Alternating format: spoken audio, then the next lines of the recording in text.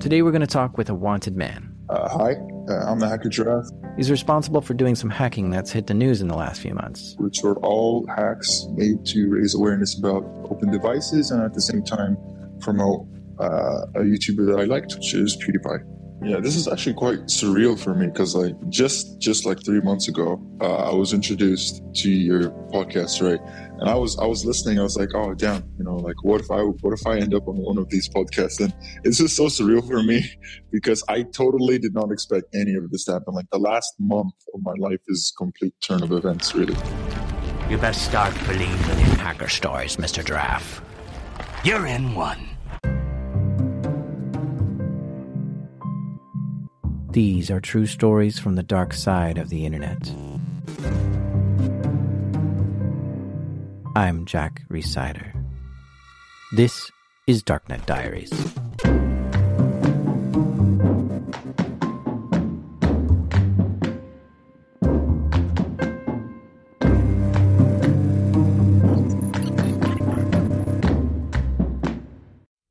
Just as a quick warning up top here, there are a few cuss words in this episode, so if that's an issue for you, you might want earmuffs. As we listen to our guest tell his story, I want you to try to figure something out.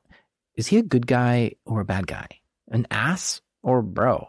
And where exactly did he go wrong? He's not exactly a master hacker, but he's learning. By the time he was in high school, he had an obsession with computers. I had an like enthusiasm with technology news and and computer news, and a lot of people didn't seem to share. I always kind of felt out of place because everybody else wants to talk about cars, football, you know, and stuff like that, and I'm just like, no, I don't want to talk about any of that. I just want to talk about computers and you know, have you seen the latest news and latest tech and you know, oh look, somebody hacked, uh, I don't know what, and stuff like that. So I guess that's how it started, and then people actually started saying, oh, you know, here's the hacker. You know, my local nickname kind of between my friends, you know, I was the hacker. I guess that's how it kind of grew on me. You're a hacker, Harry. I'm a what? A hacker. And a thumping good one, I'd wager, once you trade up a little. This was when he was young, though. He was simply known as the hacker among his friends. But he did earn the title of hacker in high school because he was actually hacking into stuff. You know, the school is running Windows XP, you know, just fire up good old Metasploit, you know, just land a couple shells, you know, mess with the teachers and, and stuff like that. Messing with the teachers by hacking into their machines. What a jerk. But wait, he actually didn't change his grade or didn't steal any files. He didn't dox the whole school's faculty. He had access to this stuff, but instead he just messed with the teachers, like changing their desktop background and stuff. So yeah, it's not cool to hack into the teacher's computer, but it kinda was a harmless prank. He kept learning more about hacking in computers. Be in public and you need Wi-Fi, so you just crack open one of the hotspots that are nearby, you know, things like that. It's just, just really small. Kind of like it's like the equivalent of party tricks, really, but hacking. You ever go to a place like a hotel or airport, and when you connect to the Wi Fi there, it asks you to pay to get on the internet? You ever try to figure out a way to get around that and get on the internet without paying? Yeah, that's the kind of stuff the hacker was doing in those days. So years go by of him doing various things like this. He's becoming better at coding, better at computers, better at hacking. But of course, he likes hanging out on Reddit and playing video games too. For those of you who are Redditors, do you think if we look at your favorite subreddits, we'd be able to tell what kind of person you are? I'm personally always hanging out in the podcasting subreddits. And then I like checking out the crappy design subreddit and tech support gore and cable fail. Can you get a sense of who I am through that? These are the hackers' favorite subreddits. The hacking subreddit, well, of course. Programmer humor. Okay, funny IT jokes. I like those too. Humans being bros. Oh, yeah. Wholesome stories and gifts of people doing nice things. Good. Dank memes. Hmm. So he likes his memes dank. Okay, to each his own made me smile. Huh. And again, a nice wholesome subreddit. He also likes the subreddit, I'm going to hell for this. Hmm. Yeah, these jokes are a little too soon or are unfair, but really funny anyways, making you feel like you might end up going to hell for laughing at it. For instance, there's a joke on there that says, These were Stephen Hawking's last words. Hmm. Yeah, funny, but tasteless. So, what can you say about a person who likes all these things at once? Maybe that he's one part computer nerd, one part wholesome, one part dark. And what does this recipe create? And there's one more thing that a hacker also likes PewDiePie. Right. So PewDiePie is a Swedish YouTuber. You know, he plays games, he makes jokes, and uh, makes me laugh. He's not just some Swedish YouTuber, he's the single most popular YouTuber in the world. In September of last year, four months ago, he had 65 million subscribers, which is just phenomenal. I mean, these are bigger numbers than some mass media outlets get, and he's just an independent creator. He's just some goofy guy who posts a lot of memes, internet jokes, and mispronounces a lot of stuff, makes fun of a lot of people, and plays video games. He gets into some trouble sometimes too when he says things that aren't politically correct, which outrages some people, but it only makes his channel bigger when that happens. And in my opinion, I think PewDiePie's content is low quality and he's sometimes insensitive.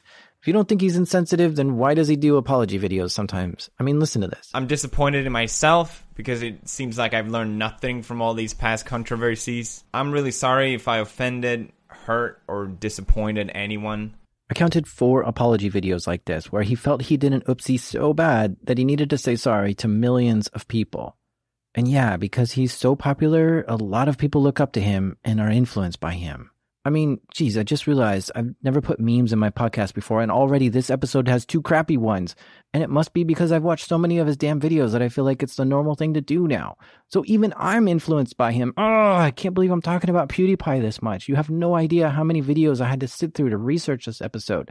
I want that time back. And now YouTube is giving me PewDiePie as suggested videos to watch next. Ah, I do not want to know any more about PewDiePie. But there's stuff to learn in this story, so stick with me. Two years ago, PewDiePie was the first YouTuber to hit 50 million subscribers, and he's been the most subscribed to channel for years. And while there are a lot of companies that create YouTube videos, the independent creators is what makes YouTube so amazing. We expect high quality, top notch stuff from companies, but technology is advanced in such a way that anyone can create a YouTube channel and teach or do funny things or make art. And it's sometimes better than what big companies can do. So the YouTube community has always been about the independent creator, fostering them, promoting them, and putting the spotlight on them. But lately, YouTube has been sort of dropping this ball. They've been working more closely with companies to bring in more sponsors and to enforce copyright violations closer. But look, YouTube has 1.8 b- b- billion users logging each month. Holy cow, that's a lot of people. And when you have that many people watching and creating and uploading videos, it's impossible to enforce anything effectively. So a lot of YouTubers are being hit with copyright violations or strikes against their channel when they did nothing wrong. I really feel like once something grows to a certain size, you just lose control of it. So the independent creators are being enraged over all this YouTube drama of strikes and accounts being banned for really dumb reasons. For instance, I saw a musician write an original song and then someone else used that song in their video and then did a copyright strike against the original musician saying they stole it from that video. Ridiculous. It's not the YouTube we all grew to love, but there's no other good alternative, so we keep hoping that YouTube changes. Anyways, during the height of all this YouTube drama, PewDiePie posts a video. Another over. That's right. In no less than in November this year. PewDiePie will not be the biggest channel on YouTube. We must fight back. Who is this T Series channel? Uh, this channel will PewDiePie. Beep, beep, beep. I'm number one. I'm number one. I'm throwing my glove at you, T Series. Fight me, IRL, to the death. No boxing glove and helmets. I'm talking about to the death here. Wait, they have 46 billion views?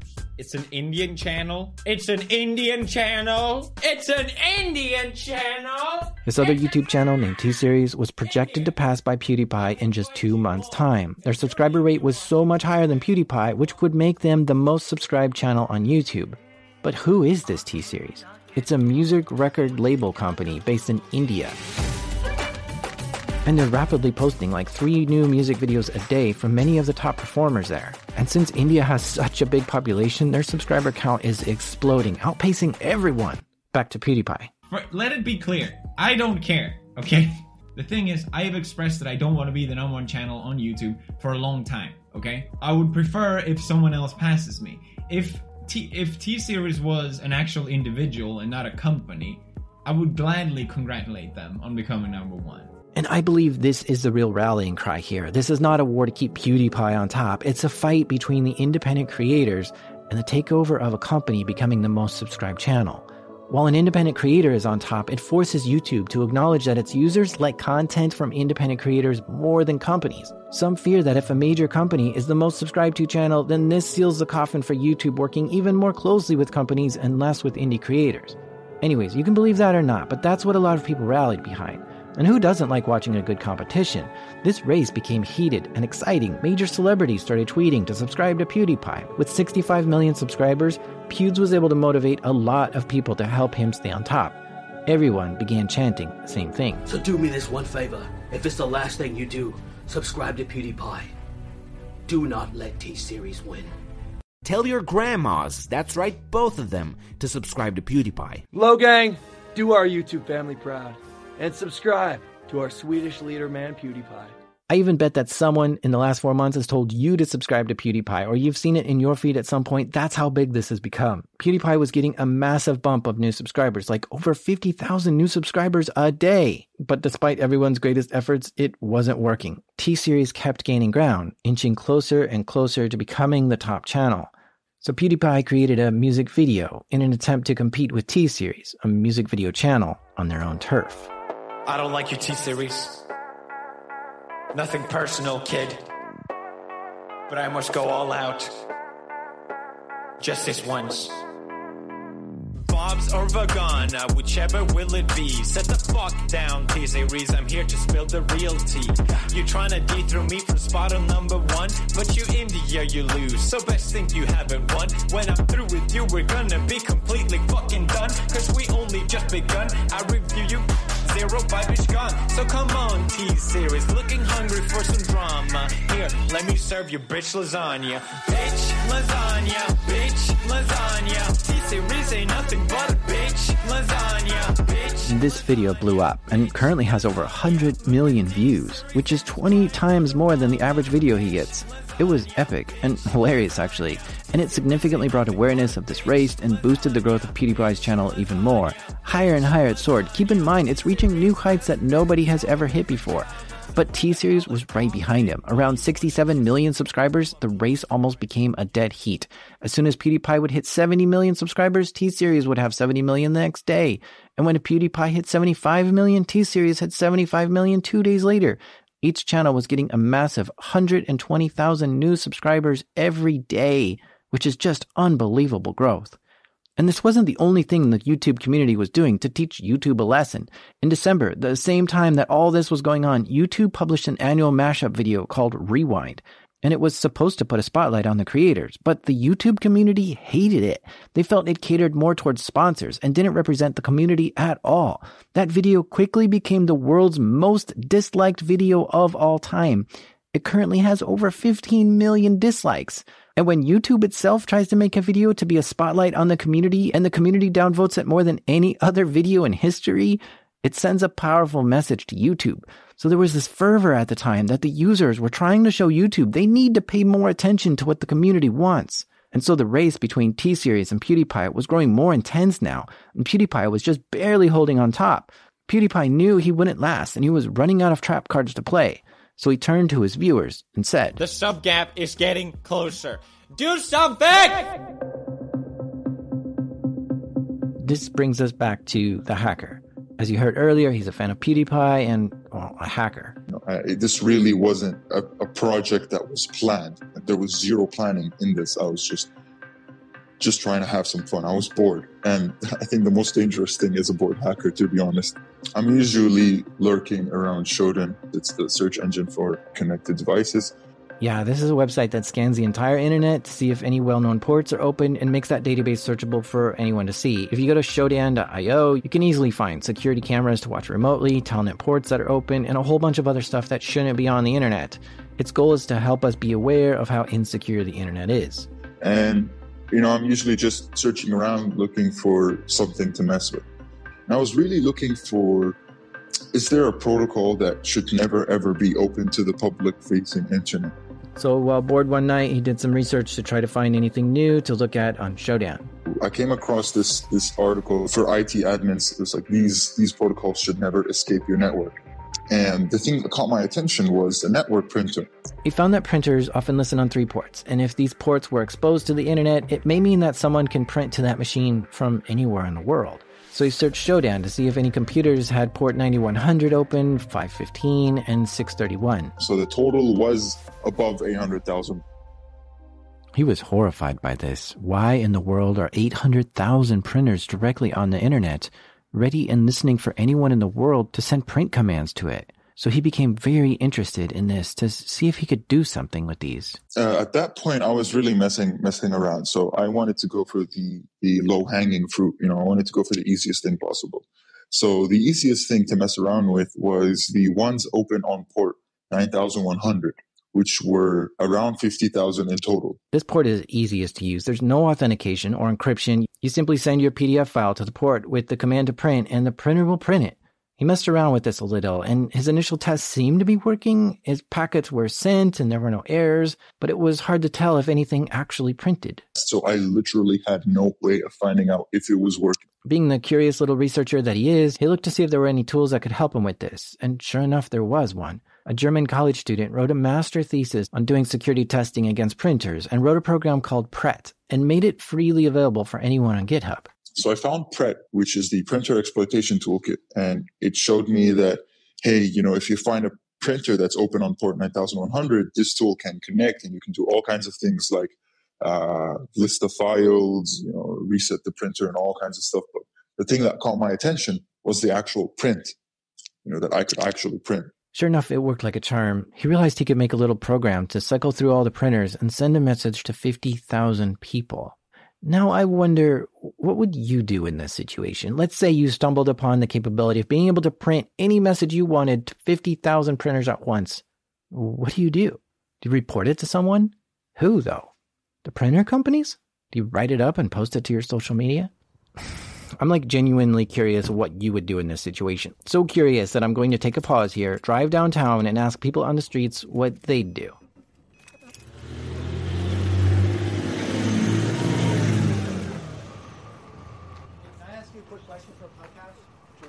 All right, so imagine you're on the internet and you're clicking around and you find that 50,000 printers are exposed to the internet in a way they shouldn't be. And you have the ability to print whatever you want to 50,000 printers. What would you do in that situation? Would you print something? Would you report it to someone? Uh, I honestly don't think that I would care enough to do anything. I would just move on with my day. Oh, I barely have anything I would like to say to 300 people on Facebook, let alone send out a message to 50,000 people. I, I think it's unethical to to uh, use somebody else's equipment without their permission. Maybe I'd put it in the hands of the media. I mean, what what else would I print to somebody else's printer other than a message like "secure your damn printer"? You know. I would print out with the negative and in with the positive. Despite ethics, I would definitely send all the book manuscripts by Andreas Antonopoulos to them. The manuscripts for his undrafted speeches, and then he has a couple longer ones that one that explains Bitcoin and one that explains Ethereum. So you print like a hundred page book on everyone's printers? That might be a jerk thing to do, but I think the message is real. Maybe I could just find a shorter summary like the white paper and an explanation of it for Bitcoin and for Ethereum. Knowing as little as I do about the whole thing, probably what I would do from a moral standpoint is I would send something to each one of those printers saying, you know, this is not secure and you probably want to do something about it. However, if they receive an unsolicited message about something like blockchain, they would already be aware of that fact. What, so, would you print something? No. And, and why not? I think I would not print anything because that seems kind of weird and uh, maybe a misuse of resources. And I really like trees, and that's a lot of paper. So. Mm. Well, first, I would print a bunch of obnoxious memes to every printer on there, and then I'd report it. I'd probably request a reward hold for. Uh, nah, nah, nah. hold a hostage or nothing, but just request a reward for turning something in. As long as I got something out of it, you know. Great, thank you for that. You all have a lot of wildly different opinions on what you would do in this situation. So, what did that hacker do? He decided to print something. And his primary goal was to make people aware that their printers were vulnerable. But then while doing that, why not help out a YouTuber he likes? He typed up a PDF. It said, Attention, PewDiePie is in trouble and needs your help to defeat T Series. Unsubscribe from T Series and subscribe to PewDiePie. The letter goes on to say, Smile, the world is a great place. Never mind, it's 2018 and we're all gonna die. Pro tip your printer is exposed to the internet. Please fix that. the bottom it said greetings from your friendly giraffe. You know it was just something that just came off like the top of my head really. And the i had no intention of actually taking credit for it at all. It was just supposed to be something funny and then that's it. People forget about it in like three to four days. Now that he had a list of 50,000 IPs in a text file, the PRET tool all set, he just needed to make a simple program to loop through them all and print the PDF. He created a very short bash script to do this. it was like four ip in the text file and i provided the text file that was the first line and the second line is literally just calling the tool with the ip and print pdf as the command so it's just one line and then the third line is just to end a for loop All it took to do this was three lines of code. Three lines! And to find the 50,000 printers was a simple search for port 9100 that anyone can do on Shodan. I mean, this sounds really easy to do. yeah this is quite literally zero skill required yeah And that just makes me think of this. You are without doubt the worst hacker I've ever heard of. But you have heard of me. So now the moment of truth. He's got everything built and is ready to hit print 50,000 printers. He just needs to hit enter. there were a thousand things going through my mind like is this going to work should i even do this you know am i doing this properly and there was even this like programmer voice inside me like dude the script is trash you should just make another one there was this sense of hesitation? Because like i knew that there was kind of no going back really. I mean there, there technically really was. I could have just stopped the script after like 10 printers but i knew that once it was running i wouldn't have stopped it. So i, I did hesitate. That hesitation was for maximum like five seconds, and then I was like, nope, this is way too cool. Just press enter. His script would connect to one printer at a time, send it a PDF, and tell it to print. And each connection took a while to complete. He would sit there and watch the count go up on how many print jobs he sent. It does provide some output. It just added a couple of statistics. You know, it was like, you know, we've reached IP 500 out of 50,000. Because I could actually tell if a printer printed successfully or if it did fail to connect. And uh, there were some improvements that I was doing on the fly, really. I, feel I feel so sorry for the first 500 printers, I'd say, because I've I've run the script like seven to eight times. Because every time I just be like, oh no, I don't like this, and I change it, and then it just go over the list again. Uh, I was also renaming the printer, so on the LCD it would say uh, hacked. Once he finally got the script built the way he wanted it, he let it run.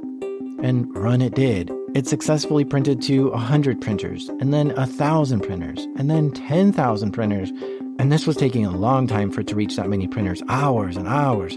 He was nervous and excited that it was working. I was seriously just refreshing Twitter, and I typed in, you know, PewDiePie printer, and another tab, printer hack, and another tab like PewDiePie print. It's just completely refreshing. Just like somebody tweet about this. Like, I, I want to see if this is working.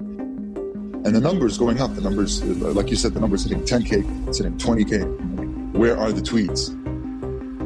And I think around around halfway is when around like 23 to 22k is when the tweets actually started rolling out. You know, uh, the very first tweet I saw was uh, a woman saying that their local police station printed this paper out of the ticket counter. And I was like, what? I had zero concerns whatsoever about any consequences. I, I was so into it. I was like, yes, this is working. This is so cool. I got to tell everybody that this is working. He got up out of his chair and started pacing back and forth in the room, hovering over his computer, texting his friends, telling them what's going on. Everyone was like, yeah, okay, cool, dude.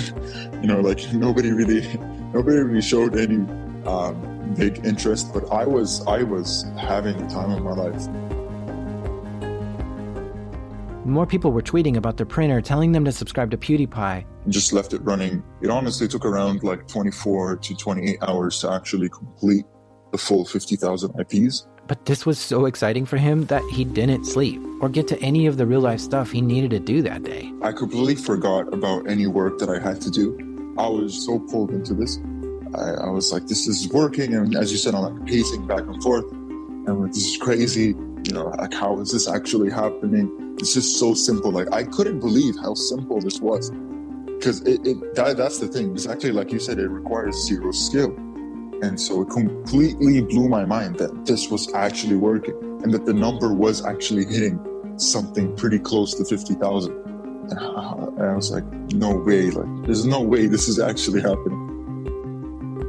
It was a mix of a of the rush. I was like, oh, I, I am going to be so famous. I need to make a Twitter account and I need to get behind this. You know, I, I have to take credit for this because a lot of people were like uh, blaming PewDiePie at first. You're like, hey, why are you doing this? Uh, and they were serious about it. And so it's like, no, okay, I have to take credit and I have to properly explain because I've seen what happens when people do anonymous hacks. You know, the media goes crazy. You know, I really didn't want somebody to publish an article saying that I'm some sort of Russian crazy spy agency trying to, you know, uh, oh, I'm hacking into your printers and I'm printing this funny paper, but I'm actually stealing all your money or like some crazy conspiracy theory. No, this was just your everyday, normal, just coincidental show and find. So I created the Twitter account. And thus, the Hacker Giraffe was born. This was what he called his Twitter account. I started tweeting at the people who were posting the pics, hey, it's me. What happened first is people were DMing me and were like, oh, dude, you know, how do I fix my printer? And it was really slow at first. Then it skyrocketed. It skyrocketed the moment one Twitter account has a huge follower base and he tweeted about it. I got media in my DMs telling me, hey, you know, we want to write a story about this. And it blew it blew up in the span of like six hours from the moment that tweet happened. Uh, the Twitter account literally went from like zero followers to something like 20k in about six to 10 hours. For me, at least, this is where I think the Hacker Giraffe made a mistake. And I think he agrees too. It was a horrible idea. Yes, it was a horrible idea. Taking credit for the hack, leaning into this whole thing, that is playing with fire. What he did was technically illegal, and now he's taking credit for it. This can't end well. And it doesn't. After the break, we'll hear how everything unravels and falls apart.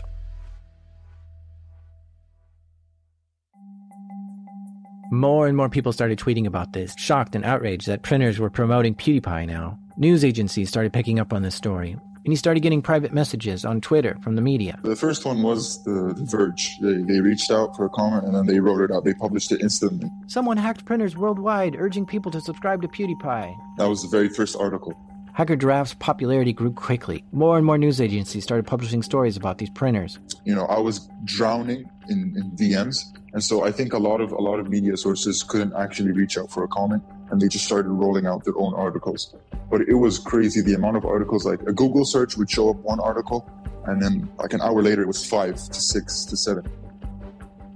They are sticking this whole PewDiePie super hardcore fan image on me yes, sure, I do like the guy genuinely. Like I enjoy his content really, but and, and I, I would call myself a fan.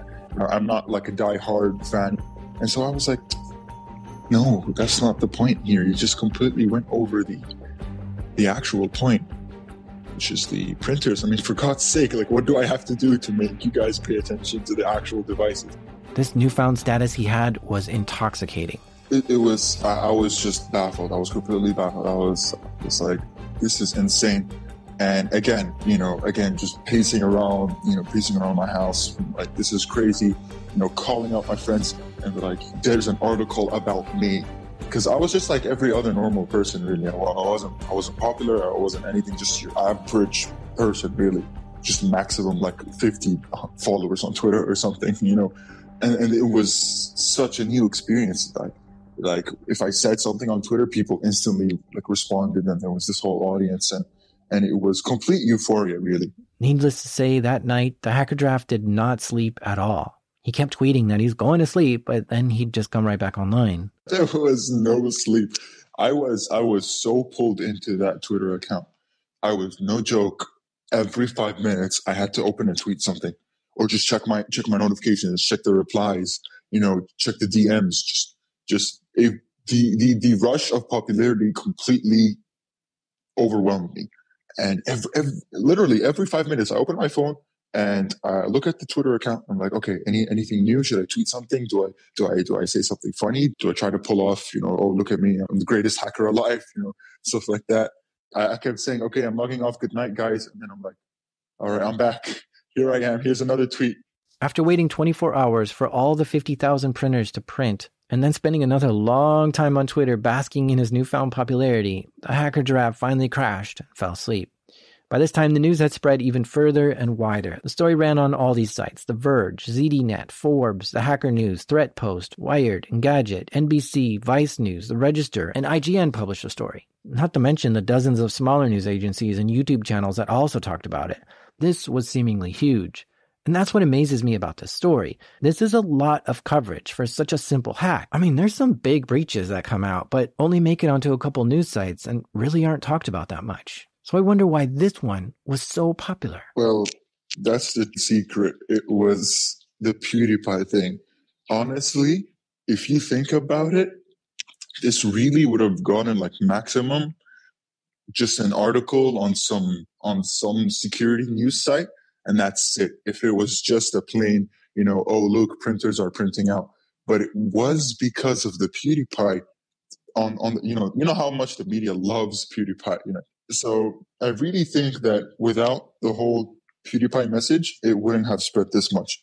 But it did spread because it had pewdiepie's name on it really in a sense Oh, I see now. Hacker Giraffe just wanted to spread awareness that some printers were vulnerable, but simply sending that message to some printers probably wouldn't have made that much coverage. So Hacker Giraffe's trick was to put PewDiePie's name on it, which helped this problem get so much more attention, which would make a lot of people double check their printer settings. I even checked mine. So this is actually a brilliant awareness strategy. That's got to be the best hacker I've ever seen. So it would seem. You might be wondering why so many printers are exposing themselves to the internet like this, and it all comes down to UPnP. This is otherwise known as Universal Plug and Play. And here's what happens networked devices like printers can reach out to the router and request that port 9100 be opened so people can print to it. And the router automatically opens that port without any user interaction. But the problem is it opens it too much. Maybe it should only open it to internal networks, but instead it opens it up to the world. So it's a technology that's in many home routers to help make your life easier. And it does. There are a lot of devices in our homes that need people to connect to it, so having UPnP automatically configure this stuff can be helpful. Things like Chromecast, gaming consoles, Wi Fi hotspots, and printers all need connections to it, and the router needs to permit those connections. But these printers that Hacker Giraffe found were all likely exposed to the internet because either the printer asked for too much to be opened or the router opened too much automatically. So who's responsible for fixing this? The printer makers? I guess. The router makers? Yeah, them too. But what about the users who could have configured this properly but didn't? It's a combination of all these things, and we all just want our tech to work when we buy it.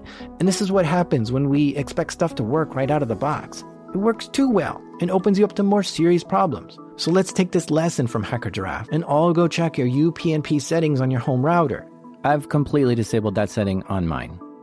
When Hacker woke up, he went right back to Twitter, again in euphoria for being so popular and seeing his work get so much coverage. He's actually published security research before, but only four people read it.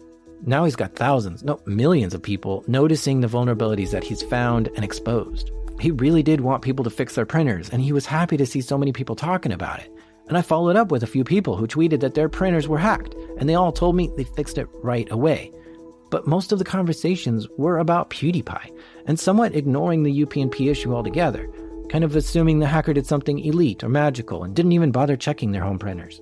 Hacker Giraffe tried to use his newfound popularity to guide the conversations back to how to secure your own systems and to teach people about security.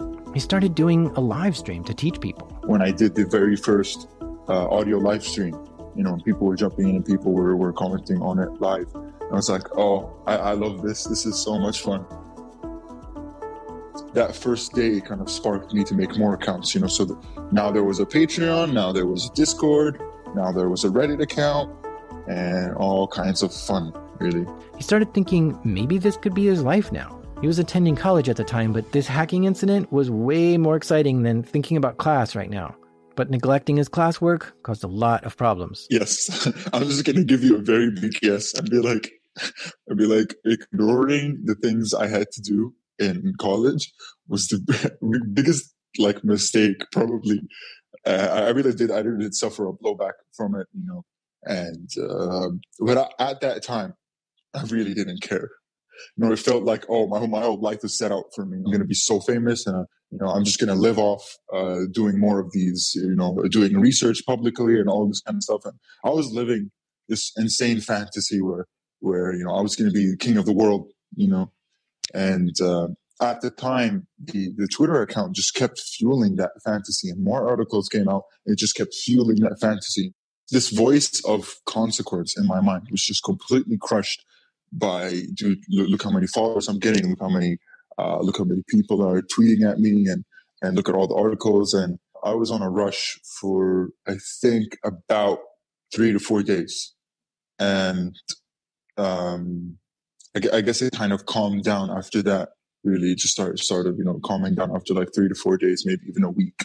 A lot of people were blaming PewDiePie, so he became aware of this hack too. He followed me on Twitter and he mentioned me on Twitter, and then his editor uh, Brad came up and told me that you're going to be in the next video, and I, I was completely losing my mind. I was like, dude, no way. Can you believe this? Someone hacked printers worldwide, urging people to subscribe to PewDiePie. Thank you, printers. Very cool. See, this is what I'm talking about. Even printers are doing their part. the message uh, was basically printed and told people to number one, unsubscribe from T Series. Number two, subscribe to PewDiePie. Pro tip: Your printer is exposed to the internet. Please fix that. Greetings from a friendly giraffe. So this was made by the hacker Giraffe. This was getting more media attention than anything I've seen in the recent memory, revolving me at least. It was featured on a, a ton of different media websites, IGN, Wired. I love this one because it says uh, printers were exploited for PewDiePie propaganda. so obviously this raises awareness because uh, a lot of people's printers are uh, could easily be exploited and actually cause damage. You know, the the giraffe said that he could have targeted more but decided not to. And he also mentioned that I killed two birds with one stone, raised awareness for this issue, and helped PewDiePie get a slight edge. That's what I need. That's what I'm talking about. All this support to keep me on top is so funny. I love it. Please keep it up. Just don't do anything illegal, okay? Because that will look bad on me. That's the only reason. you know, and hearing him talk about me raising awareness, he, he said all kinds of nice things like, oh, he's doing this to raise awareness. It's this great job. You know, your printers are exposed and you should fix it. It was honestly, it was cool. Mean, it's just the best way to describe it. It was cool. You might think that remotely printing to a printer is not that big of a deal and it's not that impressive of a hack. But consider this the Printer Exploitation Toolkit, or PRET, has more options than just printing. Historically, I've discovered that printers are very insecure. They're usually left with default passwords, they often act as mail relays and DNS relays, which opens them up to abuse. And they sometimes store a copy of all the files that were printed in its internal hard drive. And I even was at a talk at DEF CON once where they demonstrated how you can send a malicious PDF to a printer and get command line access to the printer. Yeah, yeah, and and PRET actually did that. PRET would generate malicious PDFs for you, and you could actually get uh, terminal access onto the printer you could legitimately change files, download files, run commands. You could do whatever you wanted. Like like he like he said, you could gain access to the thing. So you could this this printer could legitimately be a gateway into the actual inner network in a sense. You could actually use it as a proxy or VPN of sorts to actually jump into a network. Or even worse, you could have write your own botnet and just infect all these printers with that botnet and really you'd have 800,000 bots at your disposal. So, this attack could be much more serious than simply printing something like this. And it's an issue that deserves more awareness and more people looking into the problem. And after a few days of basking in his newfound popularity, the hacker Giraffe was seeing another guy copying him and hacking printers too. And their name was User. Uh, I accused him of being a copycat. I reached out to him and I was like, hey, dude, you're copying what I'm doing uh, don't do that. It's not cool. And then we kind of we kind of discussed through DMs, and we came to the conclusion that this guy actually knew what he was doing. He was he was basically doing the same idea, but executing it way differently. So I'm like, hey, dude, you know that, that's that's pretty cool. You know, you know your stuff. Uh, and so we came together uh, after seeing, you know, a few articles came out, and then nobody really did anything about it. And so we were like, okay, uh, we have the rest of the 800,000 printers. We have two other protocols that we haven't really tested. Let's go for it. And so this is when I wrote the actual code for the other protocols. Um, and we ran it and we hit the full 800,000 IP addresses, like the whole thing. So we went through the full 800,000 with the same message again. It was the same message, just altered a bit differently, this time with our actual uh, Twitter handles, and user. That's when the BBC article came about. That was the first actual major news source to cover it. Again, this brought his popularity even higher still. Thousands more people were following him now. It was, it was, it was again that renewed sense of euphoria, like, oh yeah, this is happening again. There was this feeling that you know, like, oh no, my popularity is, is, is kind of dying and, and people, it's kind of stale on my Twitter right now because, you know, it's been like a week uh, and I haven't really done anything. So like, okay, we got to fix this. This whole sense of loneliness was, was creeping back in again. You know, that like, oh, I'm just going to be like forgotten now.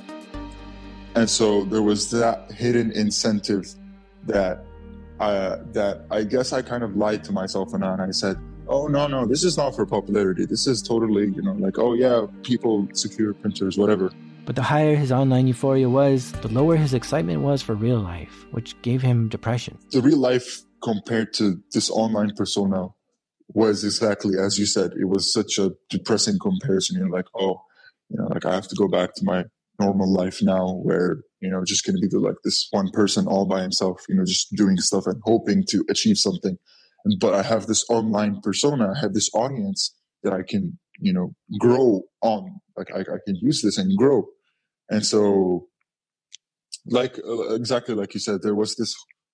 It wasn't only popularity; it was kind of this, you know, this loneliness that hey, like you know, there's a lot of people that I can talk to online now. That pushed me further to be absorbed into that whole persona, the hacker giraffe persona. This took a serious toll on him. He ended up failing one of his college classes. His friends were getting sick of him talking about this constantly, and the real world just wasn't as sparkly and fun as his online persona was. This created a profound sense of loneliness. And to top it off, he was getting a lot of hate messages and harassment too. I was getting a lot of negative DMs on Twitter. Yes, definitely. The negative DMs had categories, right? It was either some other hacker on Twitter calling me a script kiddie, and they're like, dude, you just downloaded a script off GitHub and all you're doing is just going on Shodan you're just stealing other people's work and you're, you're, you're a nobody you know and then it was people who have been affected who were like why are you doing this? I don't care. You know leave my shit alone. Uh, you know like you're such an asshole. Like why do you keep doing this? And then it was the other people who were angry about the pewdiepie part. People who were like dude uh, like why are you promoting this racist asshole this, you know this nazi? Like are you a nazi too? Like is that what you're trying to say? Like, uh, are the, like is that where your conscience like lies? The hacker giraffe was riding an emotional roller coaster. So many ups, so many downs. And while the ups were great, he wasn't handling the downs well at all. When you become an overnight success, it's hard to know how to handle this kind of popularity. So this added to his depression.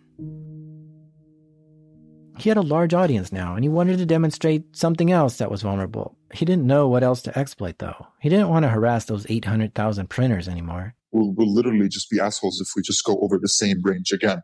If we just go over the same printers again, then okay, there's people will definitely get the wrong message. He found a lot of Minecraft servers that were open, but didn't think it was a good idea.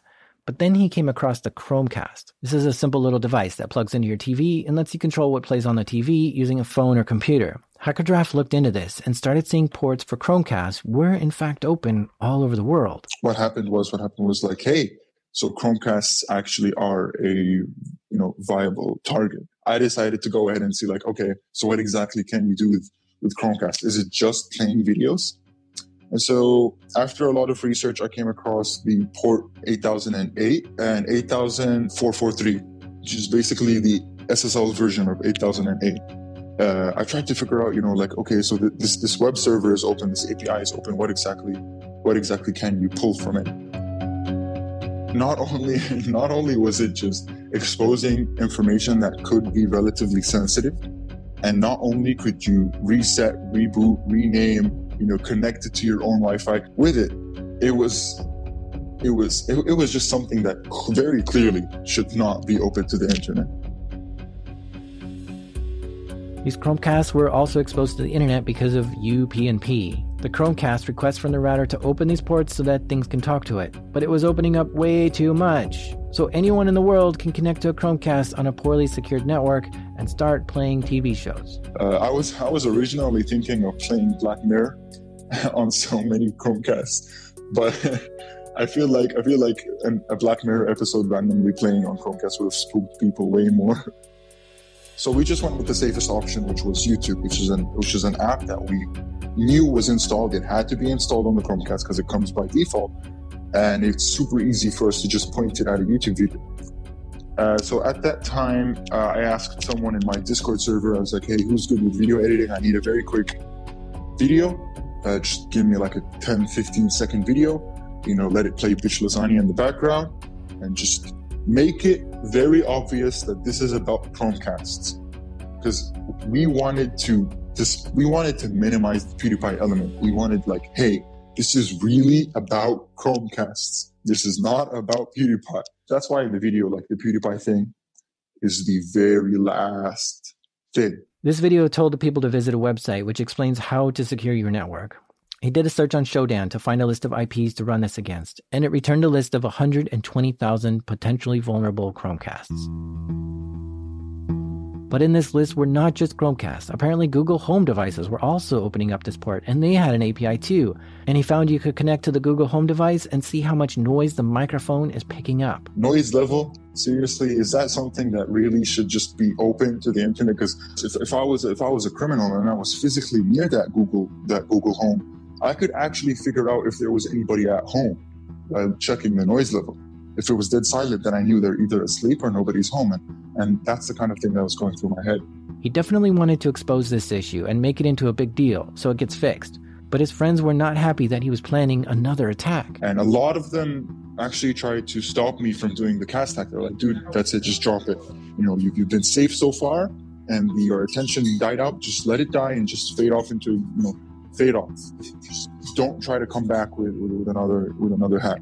But you know, the I guess uh, my ego and like I said that just that like wanting to go through that euphoria again. You know, again that sense of you know loneliness and like isolation. It's like like no, I want to get back. You know, I have to do another thing. I, and so there there was more hesitation. There was much more hesitation this time. And so the other voice won eventually, like the voice of just just go with it, uh, won. So him and user had everything ready: the list of 120,000 vulnerable Chromecasts, the video, the script, and he even built a website with live statistics of the hack. He tweeted that Chromecasts were next. He got on his Discord chat room, told everyone to get ready. And there was even a countdown to when it would start. Everybody was like in the server. They were like, "All right, three, two, one, launch." Script started going through the list of IPs playing the YouTube video. Hundreds of Chromecasts not only were playing the video, but also the device was being renamed. The live website was displaying the number of devices rising higher and higher. Soon thousands of Chromecasts had played the video, but all of a sudden the number stopped rising. Five minutes or five to ten minutes into our attack, Google actually disabled the ability to play YouTube videos over uh, over their HTTP API. It, w- it was just completely like you couldn't. Google had somehow gotten word that this was going on, and they issued an emergency patch to all Chromecast in the middle of this hack. They removed the ability to play YouTube videos over the API. This stopped the whole operation. But I, I, I quickly started researching, you know, like what are other alternate uh, ways? Because my Chromecast was still working. I could still send it YouTube videos. So there must be something else going on. So I figured out that I found out another port, uh, port 8009, which uses Google's own protocol. Uh, and so I, I started reading up on that. I was under so much pressure because the number, because the number of Chromecasts being forced to play the video is not going up because they're not playing the video anymore. So I, I quickly modified the script and I was like, okay, I found a library that uh, lets me talk to this port 8009.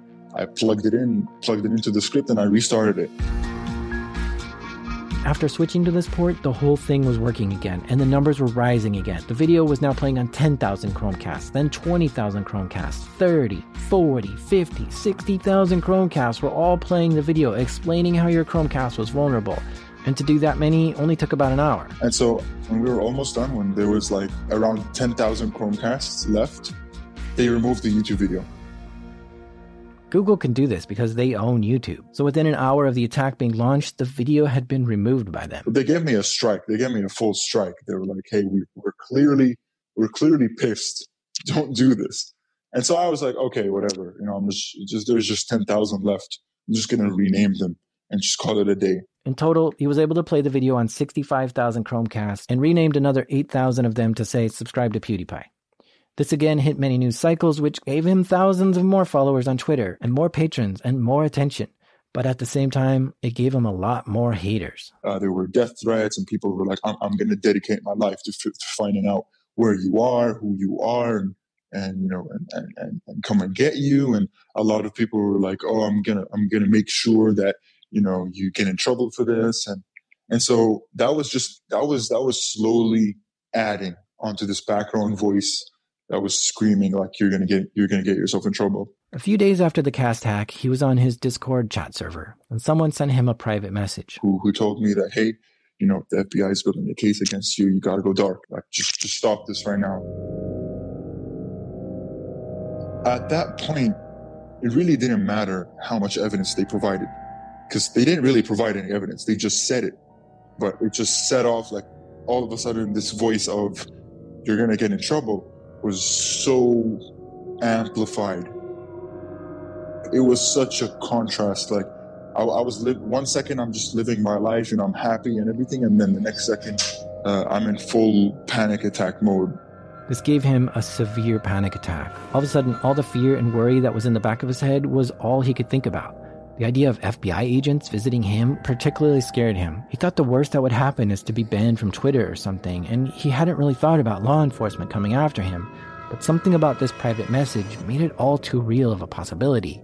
He quickly started deleting everything he could, removing all evidence of everything. He deleted his Reddit account, all his tweets. He deleted his Discord server and his Discord account. He deleted the Patreon page and the PayPal address linked to it, and he wiped everything on his hard drives too and he went on to Twitter to post goodbye to everyone. He said, uh, "I'm sorry for everyone, and like I'm sorry for everything I, I did. Um, don't I don't plan on coming back, and please don't copy me. Please don't do what I did. It is not worth it, you know. And uh, I can't take this anymore." And I, I typed up that whole paste bin kind of goodbye message, and uh, I posted it. He then took down his Twitter account and went completely dark. Just like that, he was gone. There was nothing left. And I just sat there, you know, like by myself, just like trying to calm myself down. I stopped checking the internet and I was like, all right, like, I just need to calm down. It's going to be okay. Uh, a lot of people, um, my friends especially, you know, they were calling me and they're like, dude, we saw what happened to your Twitter. Like, are you okay? And everything. And it took a day for me to like calm down from the panic attack because I, I was just completely irresponsive from like all, like everyone. Anybody who tried to talk to me, just received the same statement over and over, like, "Oh, I'm, I'm in trouble. I'm going to get caught. You know, they're, they're, coming after me, and I've I've done such a big mistake, and this was never worth it." Until the first day passed, and and I was I was still super scared when I woke up. You know, super alert from everything, super scared from everything. You know, um, and I went into like this extreme state of depression. And, and I was I was reading the articles roll out saying that you know, like, oh, you know, Hacker Giraffe quits. You know, people calling me a coward for, for backing out. People, uh, people, people saying, oh, look, that's what you get. That's what you deserve. And the worst thing is that people couldn't reach out for a comment, right? So they just had to come up with their own story and own reason why everything happened. Hacker Giraffe spent almost two weeks in this severe depression, isolating himself in his room, trying to ignore the whole thing as hard as he could. After some time, he finally calmed down from all this. And, you know, I can go out. And I, I actually did go out, you know, for the first time in like two weeks. and it was kind of like, hey, I'm I'm on the way to I'm on the road to recovery right now. So yeah. This whole story took place in the last two months, starting late November 2018. It's amazing how so much has happened in such a short period. And listening to Hacker Giraffe tell his story, it kind of sounds like hacking is like a drug. There's such a rush and a high when it first happens, and you forget about the real world for days. Then you start to come down and feel terrible and need a new bump to feel happy again.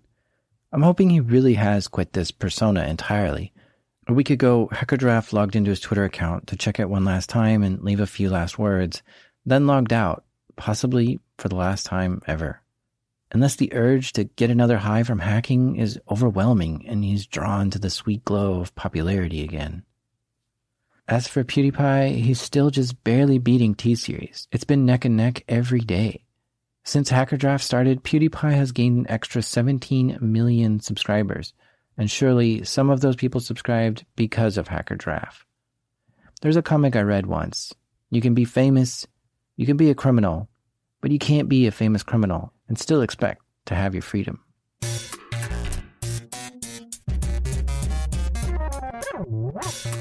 You've been listening to Darknet Diaries. Thanks to the Hacker Giraffe for giving us the whole story. For show notes and links, check out darknetdiaries.com. The show is made by me, the Hacker Hacker Hippo. Jack Rhysider, and theme music is by the Hungry Breakmaster Cylinder.